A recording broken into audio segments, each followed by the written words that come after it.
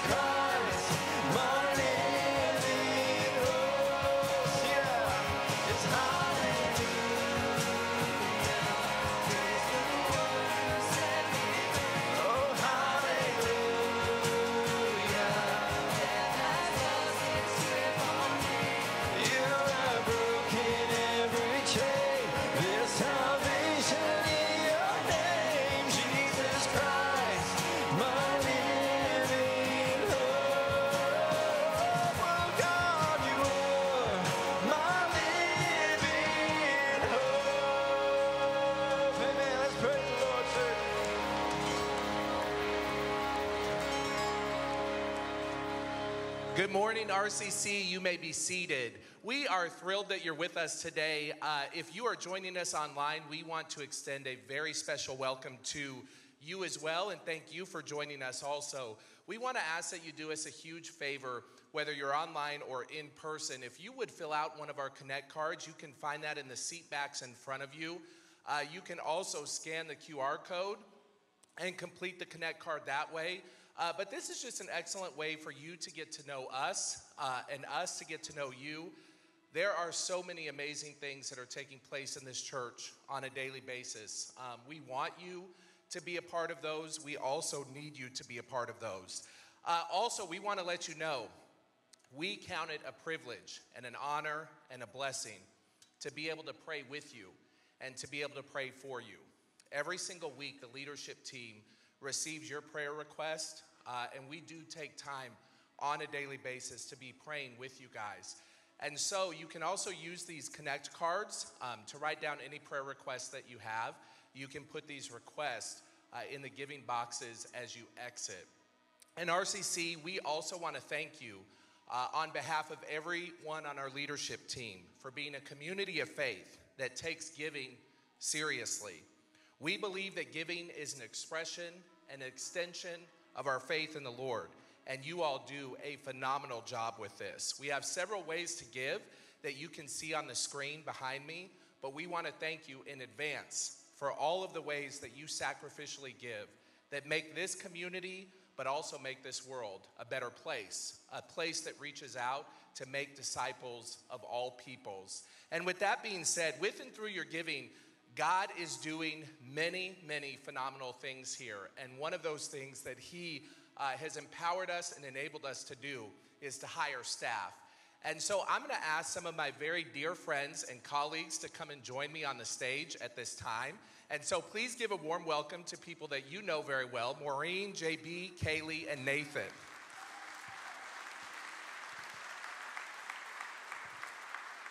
Now, I can't say in first service that they don't have a clue um, why they are up here because first service uh, let the cat, of, cat out of the bag in that regard. Um, but each one of them has been here at RCC serving on staff for more than five years. Uh, but today, we want to say a special thank you to each of them and highlight each of them uh, and let them know how much they're loved and appreciated and valued by us. This is their happy five year anniversary. And so at this time, I'm going to ask yes, give it up for them, that for sure. And at this time, we have some very special gifts as a small token of our appreciation for you guys. So if you can make your way up here and bring those gifts, and as they are receiving the gifts that um, that they're being given on behalf of all of us at RCC, I want to highlight 2 Corinthians chapter 5 verse 20 references that disciples of Jesus are ambassadors of Jesus Christ, ambassadors in their own context and also ambassadors in the world. And these four individuals are tremendous, tremendous ambassadors. Yes, they have a job here to do at RCC, but I know I can speak for every single one of them in, sa- in saying that they count this as more than a job. They count this as a huge blessing. It's a big part of who they are on a daily basis. And so we want to say thank you. And if you're able, I just want you guys to reach out a hand or extend both hands as we pray over them and pray over their families. Father in heaven, thank you so very much, Lord. First of all, for your church. Father, the design of your church is perfect and it is beautiful. And Father, you have designed your church to be the agency through which the world is reached for you. And so, Father, help us to know that every single person has a role in being your church. It's not just those on staff, it's not just those who hold titles of leadership. Father, every one of us is a part of the body. And Father, I want to thank you for these four up here for Maureen, JB, Kaylee, and Nathan, for all their years of service here at RCC, and hopefully for many more years of service. Father, help us to love them well. Help us to encourage them to hold their hands up, to hold their hearts up. Father, they do that for each one of us, and so many more that we have no idea about. So, Father, as we celebrate them, most importantly, help us to celebrate you and the work that you are able to do and the work that you're doing, not only in this community locally, but Father, in your church worldwide. We give you the rest of this time and thank you so very much for it. We ask all these things through the power of Jesus' name. Amen. Thank you. Amen. Hey, church, we're going to turn to a time of communion. And if you didn't receive the elements as you came in, just go ahead and raise your hand. And we have ushers, leaders across the room. They'll, they'll bring those to you. Just keep your hand raised so they can see you. And as we enter into this time of communion, you know, we just, uh, we just got done singing a song called Living Hope. And it's speaking to the hope that we have in Christ. But you know, the Bible says, church, that without the resurrection, that we have no hope. In fact, the Bible says that without the resurrection, that our faith is meaningless. And everything that we celebrate in hope is because we know the truth of the resurrection. That Jesus, He took the weight of our sin upon Himself. He went to the cross and He died there. And then He was raised again in three days. And because of that resurrection, church, you, me, everyone who calls on the name of the Lord has hope in eternal life. And that's why we come together as the church, as the body, and that's why we celebrate and give praise to God. And that night, when Jesus broke bread and, and gave this illustration of his body as a sacrifice to his disciples, they didn't know exactly what was going on, but he took the bread, he broke it, and he said, This is my body, which is broken for you. Do this in remembrance of me. And he took the wine, he said, Drink, do this in remembrance of me. This is my blood poured out for you. And so when we take communion, church, we're not just sitting in remembrance and reflecting of what Christ did for us on the cross, but we celebrate in hope because we have a risen and alive Savior in this room right now. In fact, the Bible says when you don't even know what to pray, that the Spirit intercedes for you and prays for you. And whatever your season, whatever your circumstance, can we encourage you to rest in the living hope that we have in Christ? Because I promise you, and the Bible reinstates it, that the things that we experience are going to have no comparison to the eternal glory that we share with Christ. Amen. Amen. That's our hope. It is alive and it is well. And because of that, it manifests into an expression of praise, which is what we're going to do here in just a moment. But I want to pray. I want to invite you to take communion together as a family, and then we're going to continue worshiping the Lord. God, we thank you for your goodness. We thank you for the hope that we have in you, Jesus, because you gave your life for us, Lord, as the sacrifice, as the atonement. God, you have reconciled us back to you through your Son, Jesus. And God, that's our hope. That's what we celebrate. That's why we're here. And Lord, as we celebrate through song, as we celebrate recognizing, Lord, people who you have empowered and equipped and putting here, like the staff, and so many other people, God, so many other people who, who work towards the forward movement of what you're doing here. And God, as we begin to preach your word, Lord, I pray all of it is nothing for our own gain, but it's for the advancement of your kingdom. Lord, for the edification of your church. Remind us of that truth this morning, God. We commit ourselves to you, we give our praise to you. And Lord, we have expectant hearts because we know that you are constant, you are unchanging, and you are a wonderful, amazing Savior. God, we rest in that this morning. We give you the praise in Jesus' name.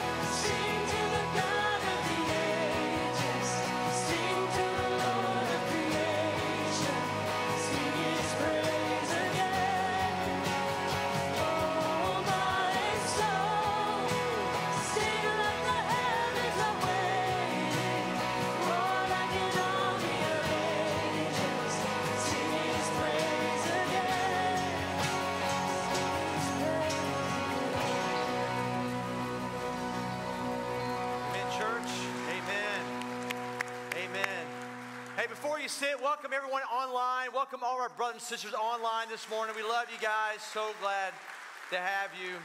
Amen. Please be seated. My name's Nathan, one of the pastors here at RCC. I want to welcome you. Just like Pastor Anthony said, it's your first time here. Come by and see us at the Welcome Center. We have a gift for you, and we would love uh, to give that to you. So please come by and say hi to his first time guest. Um, we want to welcome you, and I, I want to start today by talking about something that's really important, and that is um, yesterday. Let me kind of tell you a little bit what happened yesterday. I took my uh, two sons. My wife is out of town. My daughter's in college, so it's just us boys at the house. And I decided, you know, let's just go have a little uh, father and son time, and went to the beach and had a had a great great time together. But while we were there, a young man from Clay County drove 30 minutes north and killed three people because of the color of their skin. And I did not know that until about 9:30 last night. And when I found out about it, and those of you who know me well, I'm just not much of a crier. I could not stop crying. Just heartbroken. Heartbroken that, um, you know, we as a church, and I'm not just saying RCC, but churches, big C church all around the world, but specifically here in Northeast Florida, we have a message that could change the tide for young men like this man. And his name is Jesus. And that's our job is to get Jesus out to people so this kind of senseless hate will finally stop. And I couldn't help but just feel that responsibility more than ever to make sure people heard about Jesus so that prejudice and racism will finally cease. And that's the only way it's going to stop, church. You can't govern, you can't do government programs for this, and you can't educate enough for this. This comes down to Jesus transforming our world. And we have that message. And so I, I, felt that responsibility like I never had before last night because he came out of our out of our county. But the other side of this is the heartbreak for the families who just 24 hours ago, just 24 hours ago, right here, right now, they were alive and well, and now they're dead and gone forever. And my heart breaks for that family. My heart breaks for the community of people who are scared, who are confused, who are sad, who are angry. And so my heart wants to just stop for a moment and just have a moment of silence for those families and pray. I reached out to a friend of mine who's a pastor in that community just five minutes away. I went to his church when I was uh, taking a break for three weeks, and I, one of the churches I went to was his church. And it was, it was amazing. We walked in there, and it was pretty obvious that we were there because we were the only white people in the church, so it was pretty obvious we were there. But I want you to know, I, I've been to a lot of churches in my few decades on this planet. I have never ever, ever, and my wife would say the same thing, and my daughter would say the same thing. I have never been more welcomed in my life like I was in that moment. Never been probably loved on by church like I was at my friend's church. And I kept thinking if, my, if this young man would have gone with me and my family that day, he would experience the same love of Jesus and it would have changed him. That's the only way this is going to change is the love of Jesus Christ. I reached out to my friend. I said, Is everybody in your, your church okay? And he said, uh, We've checked on as many people as we could, and as far as we know, everybody's safe and sound. So I praise God for that. But our heart still aches for those who lost loved ones. So right now, I want you to have a moment of silence. I just want you to pray for the families who lost loved ones. I want you to pray for our community. I want you to pray for the family whose son went and did this incredible evil thing and how much heartbreak they must be having today. I want you to pray for the church. They will rise up and will continue to change the world on behalf of Jesus Christ. So let's just have a moment of silence and I'll pick up and pray in just in a second. Just spend time with God right now.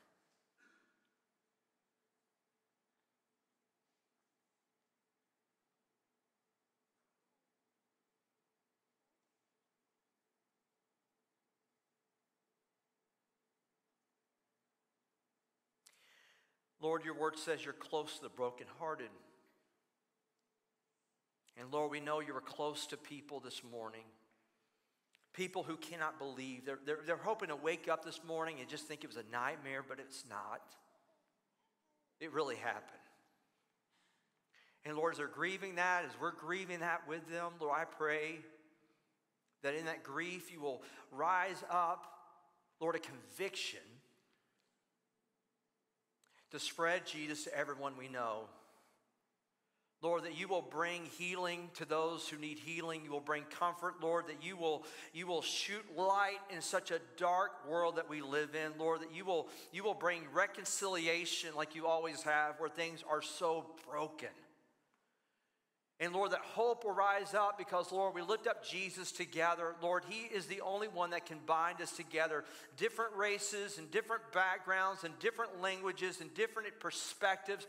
Lord, the one thing that's going to unite us is truly Jesus Christ. And Lord, I pray, Lord, we will continue to lift Him up. And Lord, we get away of all egos and Lord, all false ideologies. And Lord, we will love people because they are made in your image. Lord, I pray that the church will rise up and lead the way here. Lord, I pray that you will use every single one of us to bring the only thing that can truly change anybody, and that's the message of the gospel. And Lord, not only will we say it, but we will live it out. And Lord, we will be influencers. Lord, we will be the genesis of ending racism and prejudice. Lord, all I can say right now is, Come, Lord Jesus, come. We pray this all in His name. And the whole church said, Amen. We're in a series right now called One Month to Live, and we talked about four principles that God wants us to live by so that we live a life with no regrets. And when you ask people at the end of their life what they regret, you'll hear things like this that they wish they would love more deeply, that they would give in more generously, that they would laugh more often, and that they would have lived more boldly. And that's what we want to talk about today. We want to talk about leaving a legacy because many of us are going through the same old, same old life. We're thinking it's not that big of a deal. But what you're doing with every single one of your choices is you are leaving a legacy. That legacy you leave, you, you're either going to give is something that's just going to wipe away after you die, or it will continue on long after you die.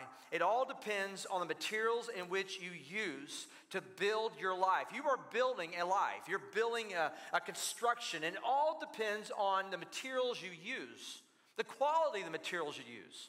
So Paul talks about this in 1 Corinthians 3 when he says this If any man builds on this foundation, Jesus Christ is the foundation using gold, silver, costly stones, or something cheap like wood, hay, or straw. Obviously, there's a difference in the building materials, right? His work will be shown for what it is because the day, the day that Jesus comes to settle everything, will be brought to light. It'll be revealed with fire, and the fire will testify, test the, the quality of each man's work.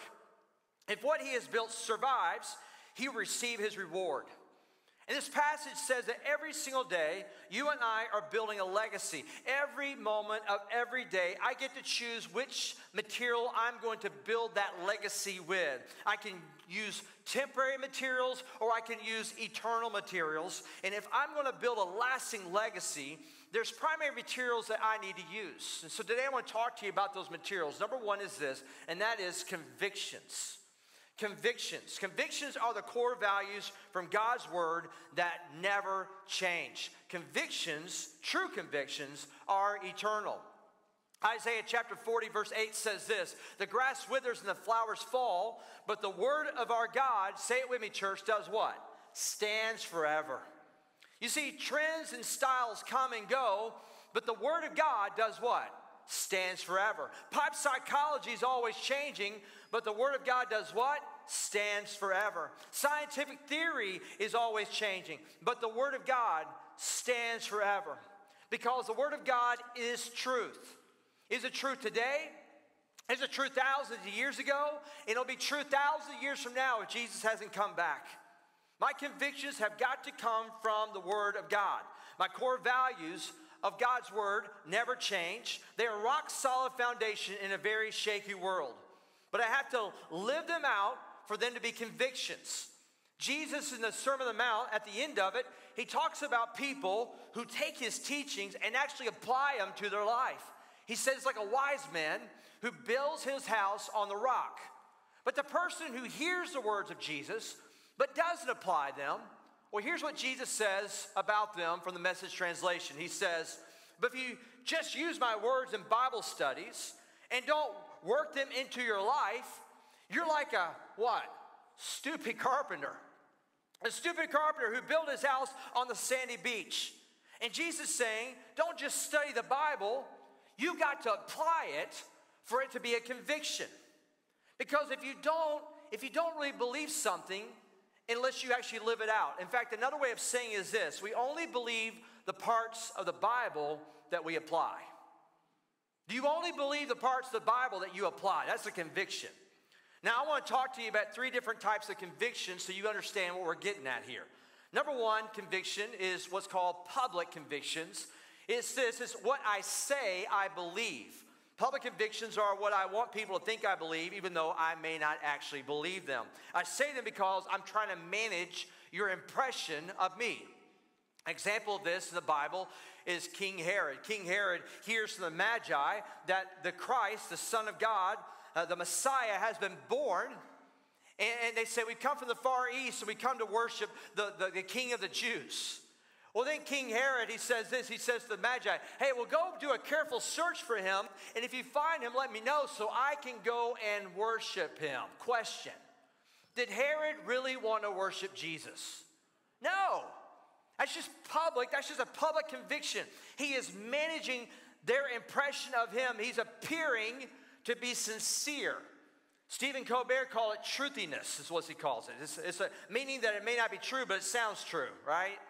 That's public convictions. The second one is this, and that is what we call private convictions. This is what I think I believe. I sincerely think I believe them, but when circumstances change and turn against me, I find out that it's not really a belief like I thought it was a belief. Our man from last week, Peter's a good example of this. He goes to Jesus, he says, You know what? Jesus, if everyone else denies you, I won't. I won't deny you. Question Did Peter believe that? Did he believe what he said? I think he did. Absolutely, he believed it. But all of a sudden, the circumstances changed and all of a sudden, that conviction wasn't quite as settled inside of Peter as he thought it was. Private convictions are what I think I believe, but sometimes they really aren't. And the last one is this one that is core convictions. This is what we're going for. Core convictions, what I reveal, I really do believe by my actions. You see, core convictions are revealed by daily actions, what we actually do. This is a place where the inner you know, inside secret beliefs show themselves to us in those moments when we're surprised by our reactions, we're surprised by our behaviors, by our postures. See, a belief is something that you hold, a conviction is something that holds you. A belief is something that you debate about and you argue about. A conviction is something you die for. When, when, what I say I believe and what I think I believe are revealed by my actions, that's a conviction. And if you're going to build a lasting legacy, you have to build convictions in your life that are not based on polls or popular opinions or expert advice. They must be based on the unchanging rock of God's Word. And parents, we're going to have to build in our kids a lasting legacy. We've got to build in their lives a deep convictions that they will carry with them after they leave our homes. In fact, I would put it this way I, I, didn't have children. My wife and I didn't have children, so we could kind of, you know, segregate them from the world and isolate them and form like a little cult, you know? That's not our job. Our job is prepare them with convictions and then unleash them into the world to change the world on behalf of Jesus Christ. That's why I have children, to expand the kingdom of God. I want them to have core convictions, and they're like missionaries everywhere they go to be light in this dark world. Where does that come from? It comes from convictions. I think of a little girl who had convictions. She's getting out of Bible study you know, on a Sunday morning, and the preacher walks by and sees her. She's got a book in her hands, and he asks her, What's the book you have in your hands? And she says, Oh, it's my, it's my study book. It's called Jonah and the Big Fish. And uh, the preacher's feeling mischievous, and he says to her, he says, Okay, so tell me something. Do you really believe Jonah, a grown man, could be swallowed up by a big fish and be okay? Do you believe that? And the little girl said, Of course I believe it. And the preacher said, Okay, can you prove to me that that story is true? And the little girl thought for a moment. She says, You know, when I get to heaven, I'll ask Jonah. and then the preacher said, Well, what if Jonah is not in heaven? And the little girl put her hands on her hips and looked at the preacher and says, Well, you ask him.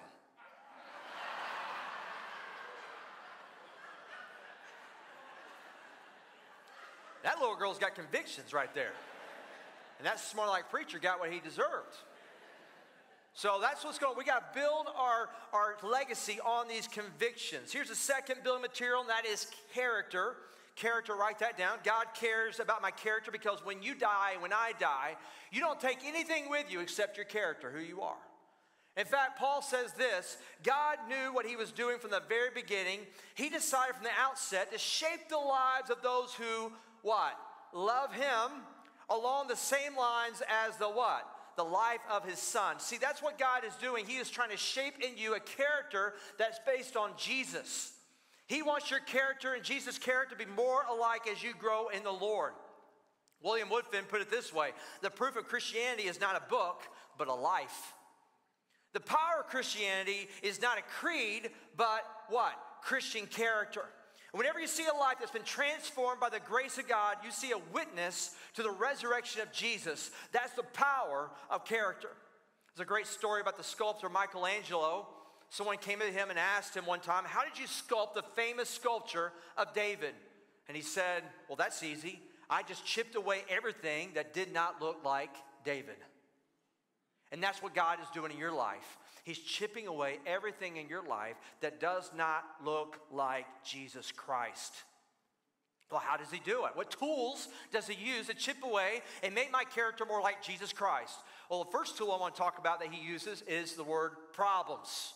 Problems. He uses problems to chip away things that don't look like Jesus in my life. And by the way, if you have a pulse, you've got a problem, right? You got a pulse, you've got a problem. See, see, sometimes God allows little problems in my life to kind of rub those rough edges off that need to look more like Jesus. And other times, He takes big chunks out of my character out. He's trying to refine me huge ways with big problems, like a jackhammer, to make me more like Christ. And I can always come more like Christ, no matter what the problem is, if I have the right, humble attitude. Someone said this to become long suffering, one has to be long bothered. the second tool that God uses to chisel away to make us more like Christ is pressures. Pressures, you know, that's where we learn patience, is pressures. The most Christ like people I've known are people who've gone through tremendous amount of pressure. Situations that squeezed them revealed out revealed the inside came out of how much they relied on god. For instance when pressure comes you have a choice. Do i do i just rely on god? God i need your help here.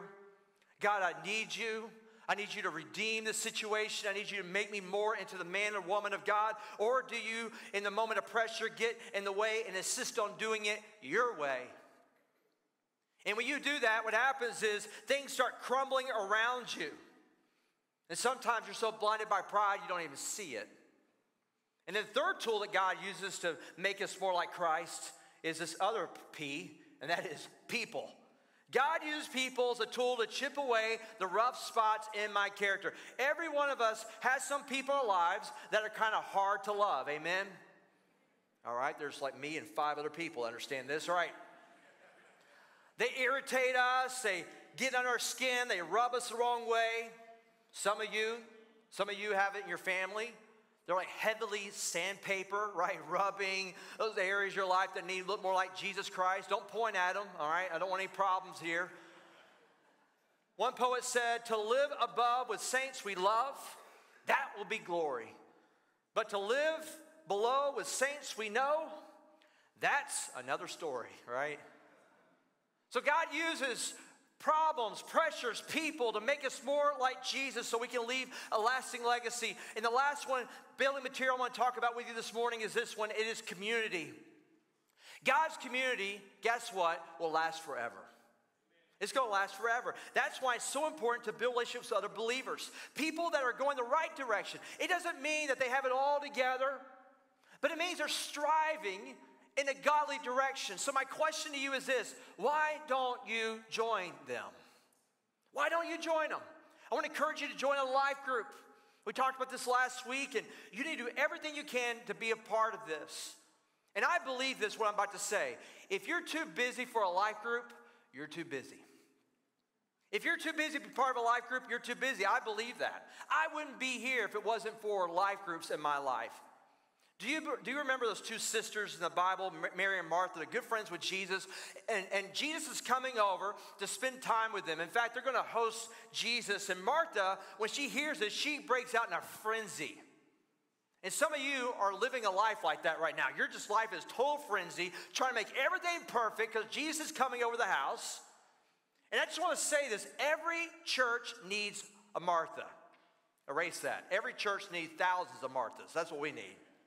Their sleeves are rolled up. They keep the pace of the church. Because of Martha's, the, the church's budget gets balanced and the, and the babies get bounced and the, and the church's buildings get built. And, and, and we need to appreciate Martha's. Martha's are energizer bunnies of the church. They store strength and energy like camels store water. But Martha's have a weakness, and their weakness is their tendency to elevate the mission over the master. And so, so Jesus comes over for dinner one night with his 12 disciples, and the scene that Luke describes is this Mary, Sister Mary, is seated, but Martha, she's seating. You see the difference? And Martha's not happy about it. She's angry because Mary is horror of horrors sitting at the feet of Jesus. How impractical, how irrelevant, how unnecessary. And so Martha complains all right, and here's what she says Martha was distracted by her what? Many tasks. So she came to Jesus and asked, Lord, read it with me, Lord, do you not care? You hear in her voice? Do you not care that my sister has left me to do all the work by myself? Tell her to help me. All of a sudden, Martha has gone from serving Jesus to now making demands of Jesus and, and the room falls silent, right? And Mary's face flushes red with embarrassment. And then Jesus says these words Martha, Martha. By the way, if Jesus ever says your name twice, brace yourself.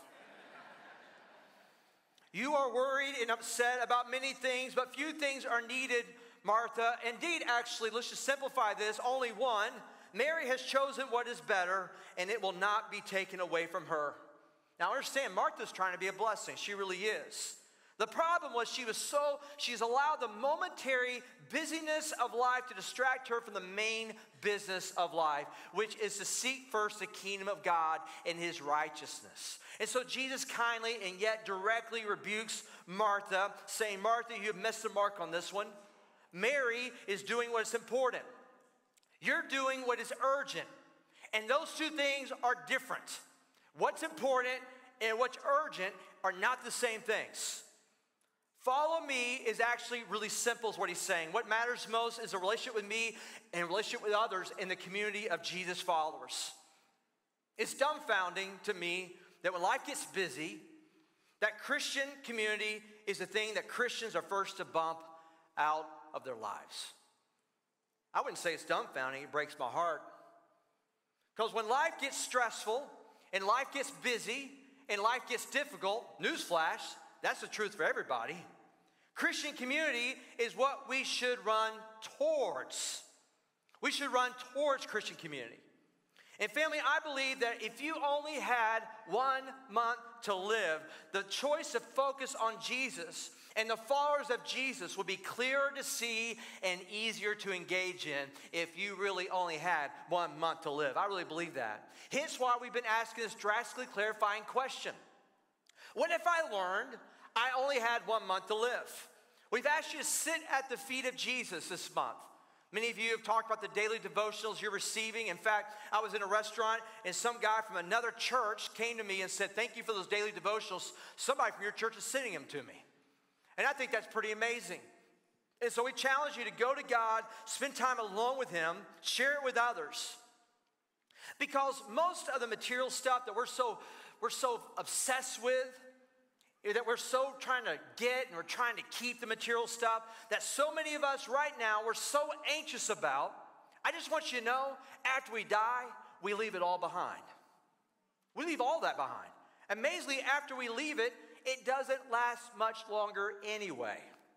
I have never ever seen a, a hearse dragging a U-Haul. I've never seen that because you don't take it with you. See, when we're gone, our money will be spent probably by people we don't even like in ways we don't approve of. You know, the executive, uh, executive who works from 7 a.m. to 7 p.m. every day, he will be wildly successful and will be fondly remembered by his wife's next husband. Our homes, our property are going to deteriorate. They'll be sold. Our personal belongings will, will, be items in an antique store. I ran across an antique store with this title right here. They call themselves Dead People Stuff. Who would shop there? You weirdo. Some of you would, all right? Anyway. There's a book out there entitled Death Warmed Over. It's a combination of cookbook and a social economic study of funeral meals and rituals. And the author starts the book off by talking about a terminally ill man who's dying at home in his bed. And while he is dying, he smells his favorite smell, and that is chocolate chip cookies being, being cooked. And he wanted one last cookie. That's all he wanted, one last cookie. And so he kind of fell out of bed and he crawled, his old frail body crawled all the way to the kitchen. He got to the oven, and from the ground, he lifts up and his hands trembling, and he reaches over to grab one last cookie. And right when he's about to touch it, he feels a sting of a spatula on the back of his hand. And his wife says, Put that back, therefore the funeral.